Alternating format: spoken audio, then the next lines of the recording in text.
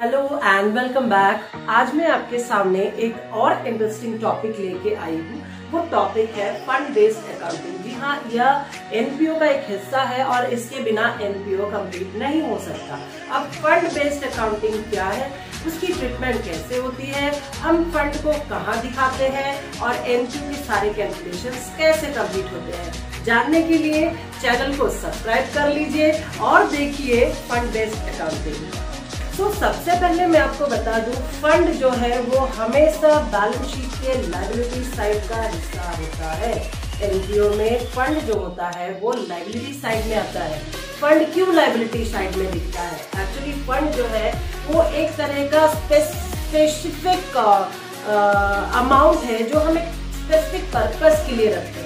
उसको हम ऐसे ही यूज़ नहीं कर सकते, आपको मालूम है। अगर हम कोई फंड या कोई रिज़र्व में डील करते हैं, वो हम लाइबिलिटी की तरह, यानी कि एक लाइबिलिटी साइड के अमाउंट की तरह ही ट्रीट करते हैं। इस वजह से फंड को हम लाइबिलिटी साइड में दिखाएँगे। मेरे पास एक क्वेश्चन है, वो मैं आपको समझा सकती हूँ कि कैसे इसको डील करते हैं फंड को कैसे मैनेज करते हैं एनपीओ में। तो सबसे पहले look at this balance sheet balance sheet में आप देख रहे हैं एक लाइबिलिटी साइड है, एक एसेट साइड है।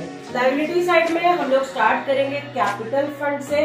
जी हाँ ऑर्डिनरी बैलेंस शीट में हमने पढ़ा है कैपिटल बट एनपीओ में कैपिटल को लिखा जाता है कैपिटल फंड अब कैपिटल फंड जो होता है, उसको ओपनिंग बैलेंस मानते हैं, यानी कि साल के शुरुआत में जो कैपिटल होता है, उसे हम कहते हैं capital fund at the beginning और ओपनिंग बैलेंस कैपिटल फंड अब ओपनिंग बैलेंस कैपिटल फंड हमने ले लिया, जो कि मेरे क्वेश्चन के हिसाब से है ट्वेंटी लैख ठीक?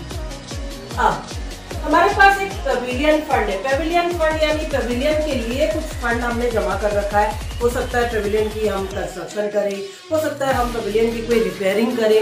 सारे खर्चे, जो भी कुछ खर्चे होने वाले हैं, वो पेविलियन से पेविलियन फंड से ही हम लेंगे।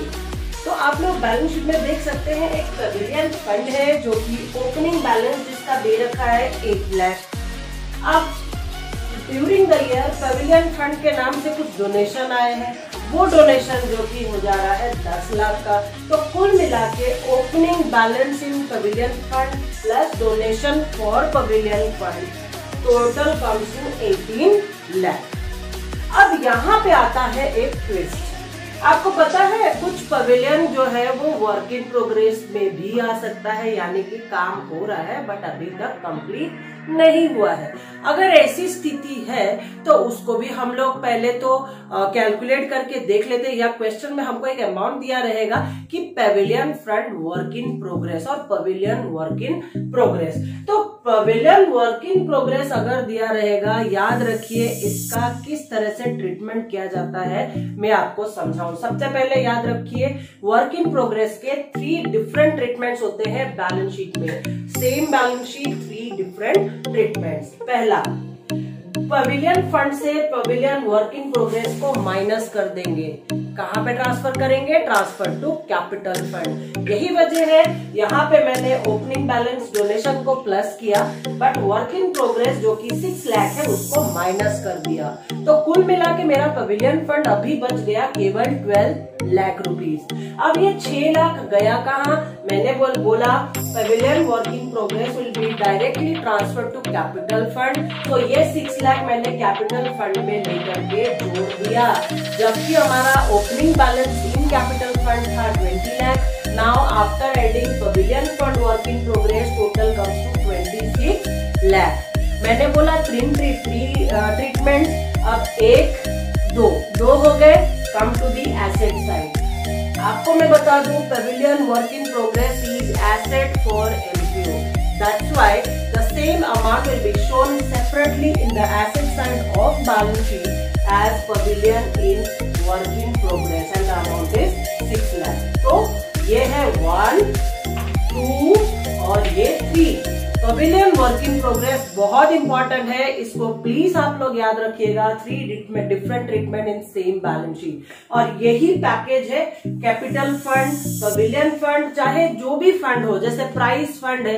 प्राइस फंड भी आप बैलेंस शीट लाइबिलिटी साइड में लिखेंगे। प्राइस फंड में जो भी इन्वेस्टमेंट हुआ है इन्वेस्टमेंट जो प्राइस फंड का हो रखा है, उसको हम एसेट में दिखाएँगे, क्योंकि इन्वेस्टमेंट हमारा एसेट होता है।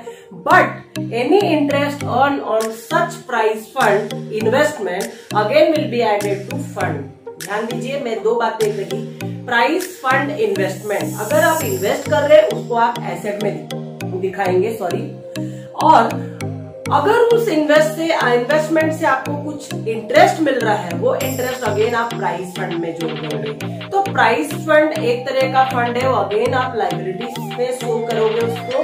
Prize fund any interest earn on prize fund investment added any prize awarded should be deducted from prize fund क्योंकि प्राइस अगर हम लोग किसी को डिस्ट्रीब्यूट कर रहे हैं अवॉर्ड कर रहे तो खर्चा कहाँ से आएगा? उस प्राइस फंड से।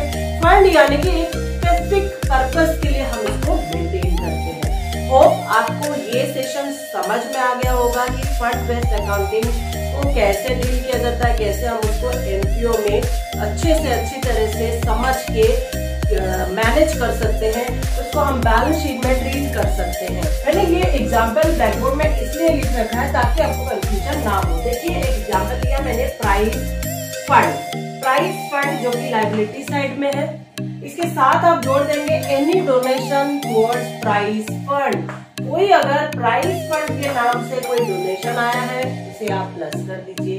अगेन मैंने बोला interest on investment of prize fund it also should be added to prize fund and what is to be deducted only prize awarded और expenditure relating to prize award this things are the expenditures and that that is why they are required to be deducted from price fund and ultimately the amount will be shown in the liability side as price fund आज का ये video आपको बहुत मदद करेगा NPO के बारे में और ज़्यादा जानकारी पाने के लिए। आप देखते रहिए मेरे वीडियोस को।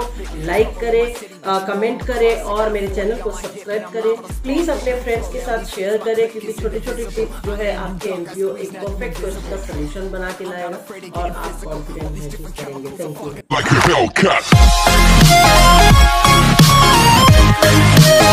यू